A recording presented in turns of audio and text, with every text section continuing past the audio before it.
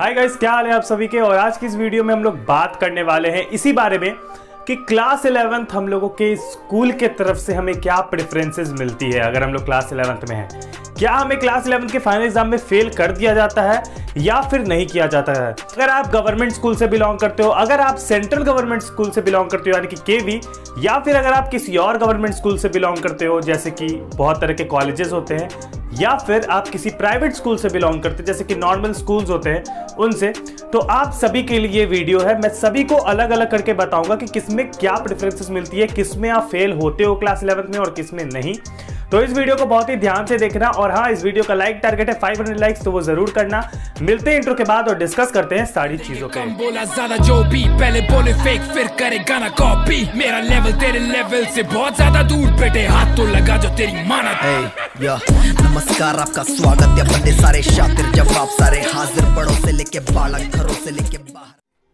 हे hey guys मेरा नाम ऋतुराज और मैं हूँ आपका दोस्त, जो कि इस चैनल के थ्रू आप तभी, सभी तक वो इन्फॉर्मेशन पहुँचाने की कोशिश करता है, जो कि आपको जाननी ज़रूरी है।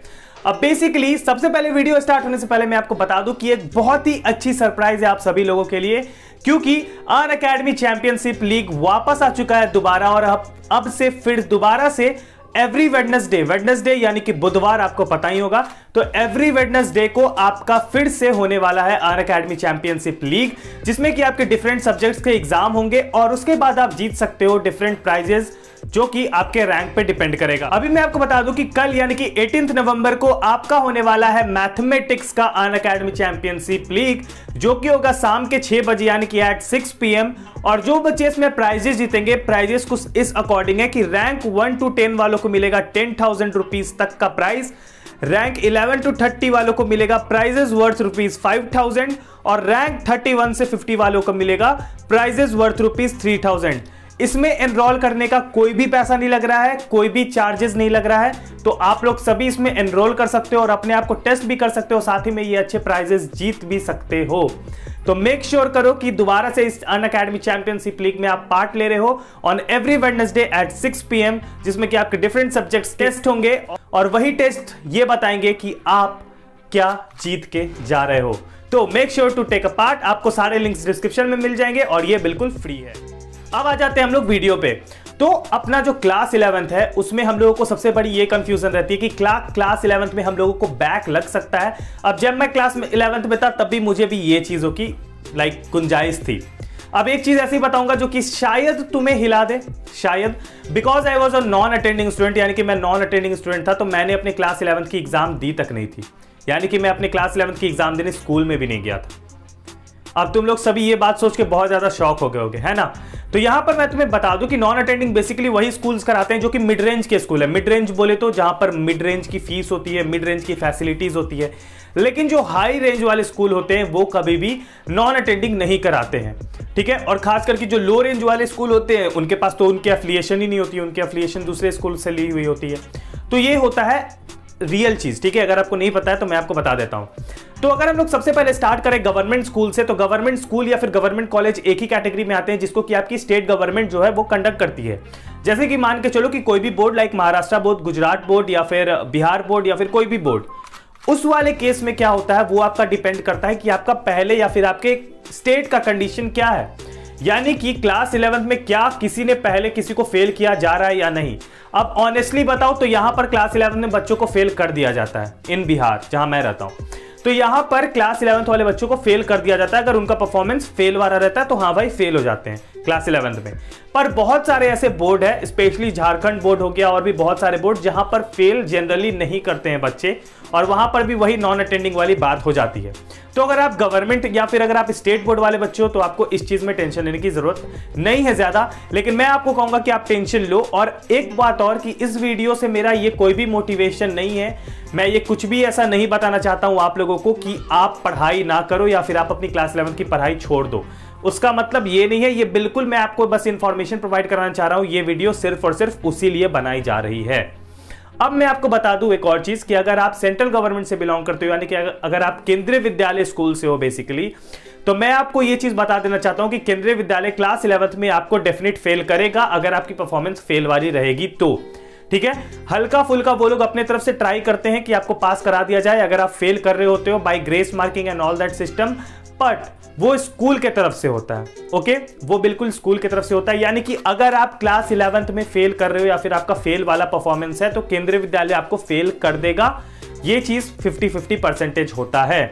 अगर आप केंद्रीय विद्यालय से बिलोंग करते हो तो आपको ये चीज़ पता होना चाहिए कि आपको मेहनत करनी पड़ेगी और आपको मेहनत करना कंपलसरी है। आई नो कि आप सीबीएसई e आपका कंडक्ट कराता है, लेकिन फिर भी क्लास इलेवंथ के जो एग्ज़ाम्स होते हैं, वो आपका स्कूल ही देखता है, वो बाहर का कोई इंसान आके नहीं देखता है। तो केंद्रीय विद्यालय में बेसिकली बच्चों को फेल कर दिया जाता हो, क्योंकि पर्सनल एक्सपीरियंस से बता रहा हूँ, क्योंकि मेरे ही भाई बहन और ऐसे भी बहुत सारे लोग हैं, मेरे फ्रेंड्स भी हैं, जिनको कि क्लास इलेवंथ में फेल कर दिया गया था उनके पुअर परफॉर्मेंस के कारण।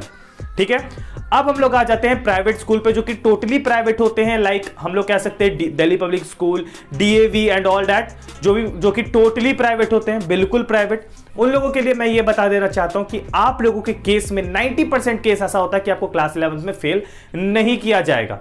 एक्सेप्ट दोज स्कूल जो कि बहुत ज़्यादा करे हैं या फिर उस चीज़ के लिए जाने जाते हैं अपने करे लाइक uh, सिलेबस और अपने करे रूटीन और अपने करे डिसिप्लिन के बारे में जाने जाते हैं, वो सारे स्कूल तो फेल करते हैं। आप लोगों में से काफ़ी बच्चे होंगे जो कि उन प्राइवेट स्कूल से बिलोंग करते होंगे और आपके दिमाग में ये बात अभी चल रही होगी कि हमारे स्कूल में क्लास इलेवन में बच्चों को फेल कर दिया जाता है। बट इन माई केस जिस स्कूल में मैं पढ़ता था और जिस जो भी मिड रेंज के स्कूल होते हैं नॉर्मल स्कूल यानी कि कॉन्वेंट जिनको कहते हैं हम लोग तो उन सभी स्कूल में ज़्यादातर क्या होता है कि वो लोग बिल्कुल ही पास कर देते हैं और किसी भी बच्चों को फेल नहीं करते हैं वो लोग। और ये मैक्सिमम केसेस में होता आ रहा है और होता आ रहा था। आपके भी स्कूल में, आपके स्कूल में बेसिकली यही होता होगा कि या तो पास कर ही देते होंगे हर बच्चों को या फिर फेल करते होंगे, जो कि नॉर्मली उन स्कूल्स में होता है जो कि डिसिप्लिन के लिए जाने जाते हैं। अभी मैं आपसे एक सवाल करना चाहूँगा, नीचे आप कमेंट ज़रूर करना कि आपके स्कूल का पर्सनल रिकॉर्ड क्या रहा है, कि आपके सीनियर्स जो कि क्लास इलेवेंथ में थे, क्या उन्हें फेल किया गया था या नहीं? आप ये नीचे कमेंट करके ज़रूर बताना। और ये ज़रूर आप नीचे कमेंट करना, थोड़ा सा टाइम निकाल के कर लेना, ठीक है? लेकिन उससे पहले मैं आपको बता दूँ कि यहाँ पर अगर आप ये सोच के दिमाग में चलोगे कि मेरा स्कूल मेरे को फेल नहीं करता है तो मैं पढ़ू ही क्यों? तो ये चीज़ मैं आपको बता दूँ कि ये चीज़ आपको समझ में आएगा जब आप क्लास ट्वेल्थ में जाओगे या फिर क्लास ट्वेल्थ के बाद जाओगे। अगर आपने मेरी एक वीडियो नहीं देखी है कि how important is class eleven तो वो ज़रूर देखना, क्योंकि उससे आपको पता चल जाएगा कि हम लोगों को क्लास इलेवंथ में स्कूल में परफॉर्मेंस ज़रूरी नहीं है, लेकिन क्लास इलेवंथ का सिलेबस हमारे लिए कितना ज़रूरी है फॉर द फ्यूचर तो ये चीज़ आप हमेशा याद रखना। कहीं ना कहीं ये फेल और पास वाली क्राइटेरिया जो है वो स्ट्रीम्स पे भी मैटर करती है कि साइंस वाले बच्चों को ज़्यादा घेरे में ले लिया जाता है और उन्हें ज़्यादा फेल कर दिया जाता है कभी कभी और जो कॉमर्स वाले बच्चे होते हैं, उनको कभी कभी थोड़ी सी छूट मिल जाती है और आर्ट्स वाले को तो पूरी छूट मिल जाती है, उन्हें जनरली फेल नहीं ही किया जाता है इन मैक्सिमम केसेस ठीक है?